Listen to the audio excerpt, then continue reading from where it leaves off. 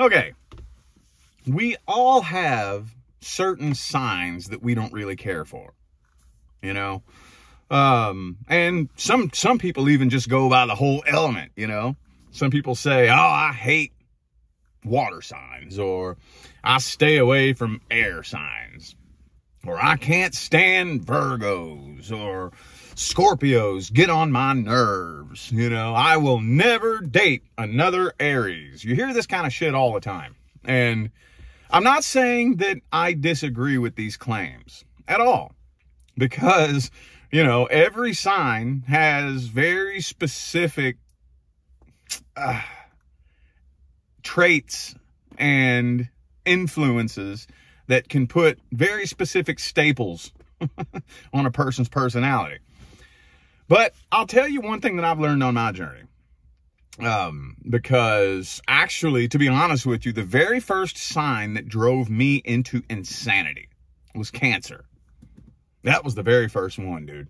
That was the one that that drove me to obsess over an astrological energy. Like I literally spent no less than 3 years of my life obsessing over anybody who had the slightest cancer influence in their chart. sun or moon. If I find out you're a cancer sun or moon, I'm watching every little move you make and studying you. Just to study you, just to understand how you function and operate. And that's it, you know?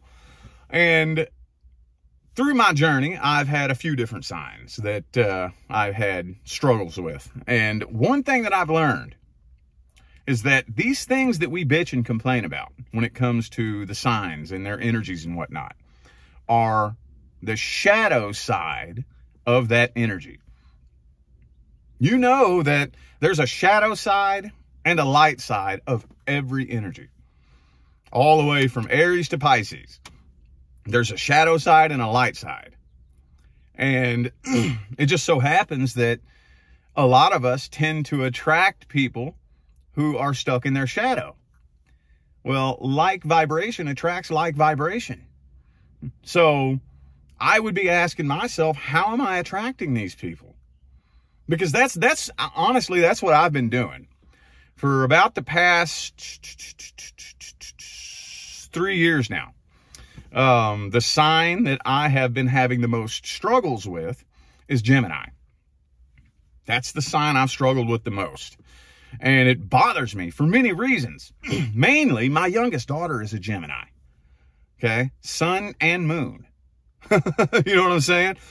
Uh, there's at least three of my favorite internet public figures that I like to listen to and watch who are Geminis. And so it's bothered me. How come every Gemini I attract into my life has this issue where they open up their mouth and bullshit comes out? Everyone that I've attracted into my life. Now, I know that at the end of the day, that's my responsibility for attracting those people into my life. And you know what I ended up learning on my journey? What I ended up learning was a low vibrational Gemini. When you're dealing with a low vibrational Gemini, you're only talking to one twin at a time. You know, Gemini is the twins, right? You're only talking to one twin at a time. A low vibrational Gemini doesn't have their twins on the same team working together. so when you're talking to them, you're talking to one twin. Then when they walk away from you and go talk to this person over here, they're talking to the other twin. That's the reason why. You know, when you're talking to a low vibrational Gemini, it's like, oh, you love basketball? I love basketball too. Oh, you hate baseball? I hate baseball too. Then they go over here and talk to this person, and it's like, oh, you hate basketball? Fuck, I hate basketball too. You love baseball? Fuck, I love baseball too. And it's like, whoa, whoa, whoa, whoa, whoa, hold up. What the fuck? Who are you lying to? Are you lying to me or are you lying to them? Or are you just blowing smoke up of both of our asses? Are you just arbitrarily regurgitating random fucking thought vomit that means nothing at all? just to make us smile. Like, what, what's going on here? I've learned that's a low vibrational Gemini. A high vibrational Gemini, when you talk to them, you're getting both twins at the same time. Both twins are on the same team. You see what I'm saying? And this goes all across the board, every sign of the zodiac. Aries, like what's one of the negative staples that comes along with an Aries? Bad temper, real quick temper, fly off the handle, fire the gun first, ask questions later, jump to conclusions, you know, very unpredictable and sporadic like a loose cannon, you know, very selfish and self-centered. Right, yes, that's a low vibrational Aries.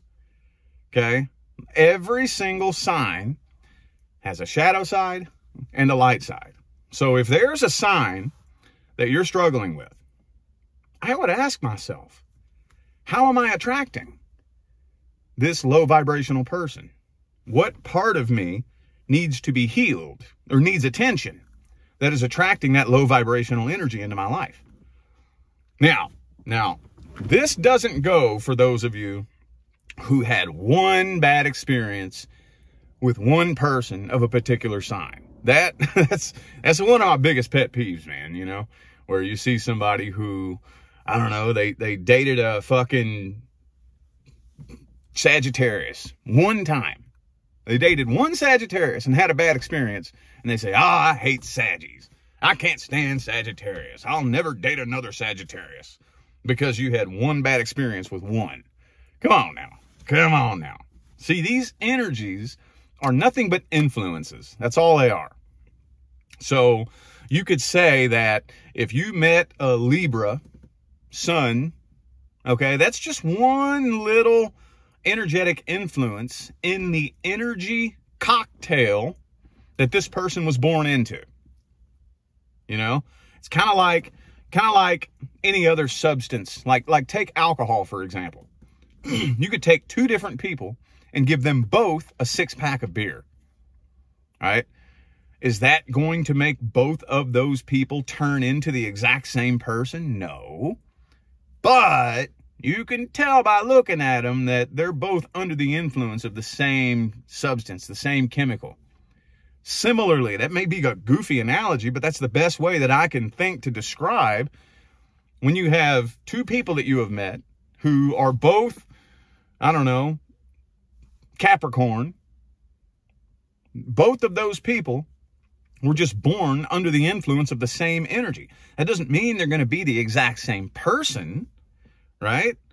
You give one person a six pack of beer and they flip out and start breaking stuff and starting fights and arguments and shit. And then the other person drinks a six pack of beer and they're they're relaxed and cool and chilled, you know? Same thing. Same thing. So again, astrological signs and energies and whatnot are just influences. That's all they are. So if you keep attracting the same shadow side of a certain sign into your life, like me for the longest time, I kept attracting shadow Geminis into my life for years. And at the end of the day, I got to stop and ask myself, well, I'm the one that's attracting them. They're finding their way into my life somehow. And when I say attraction, I mean what actually comes into your physical life. Okay. I'm not saying who you deal with on the internet or, you know, who you watch on YouTube. I'm talking about what you actually attract into your real life. That's attraction. So if you keep running into low vibrational cancers or low vibrational Leos or low vibrational Aquarians, ask yourself, what about my vibration is attracting this into my life? And what is it I need to learn to overcome that? And I know quite a few people needed to hear that. So think about that for a little bit. Think about that and rethink your life a little bit. All right? All right, that's all I got for today. I'm going to get out of here. Y'all have a good one.